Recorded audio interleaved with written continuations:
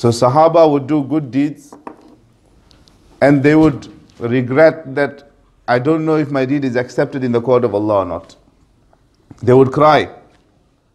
جد بلطفك يا إلهي من له زاد قليل مفلس بالصدق يأتي عند بابك يا جليل ذنبه ذنب عظيم فاغفر الذنب العظيم إنه شخص غريب مذنب عبد فقير كيف حالي يا إلهي ليس لي خير الأعمال سوء أعمالي كثير وزاد طاعاتي قليل This was the dua of Abu Bakr radiallahu anhu at the time of Tahajjud.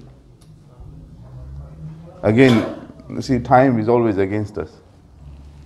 We start walking in at around 5 past 1 and we expect Maulana to stop at 10 past 1. How is it possible? Abu Bakr radiallahu anhu would cry in front of Allah and say, Oh Allah, kayfa hali ya ilahi? Laysa li khairul am. Oh Allah, I have no good deeds. This is Sahaba saying. And we boast on our deeds. Oh, I went, you know, the ninth time I went Hajj, I brought this musalla. Why, why you have to tell us you went Hajj nine times? Just say I went for Umrah, I went for Hajj, I brought this musalla.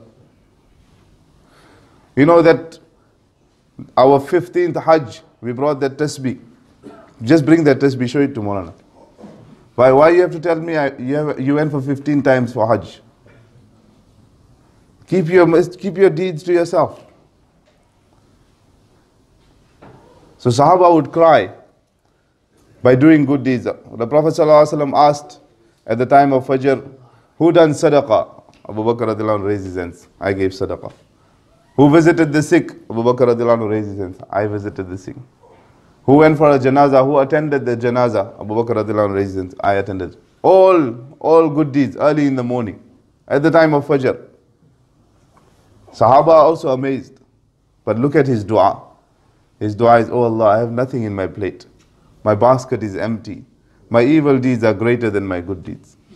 Aisha radiallahu anha looking at the stars, she asked Rasulullah that is there anyone whose deeds are equal to the stars?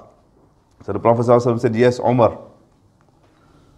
So Aisha radiallahu felt that, you know, I would have heard that Abu Bakr. So she said, what about my father? So the Prophet said, one night of Abu Bakr cannot equal the whole life of Umar.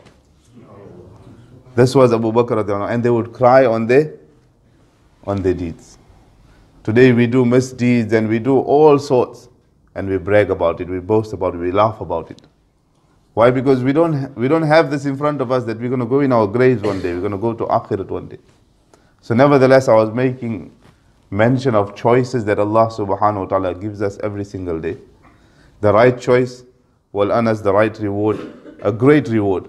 And sometimes the wrong choice we make for us, for ourselves, sometimes for our children, for our family members, it can put us on the path of Jahannam.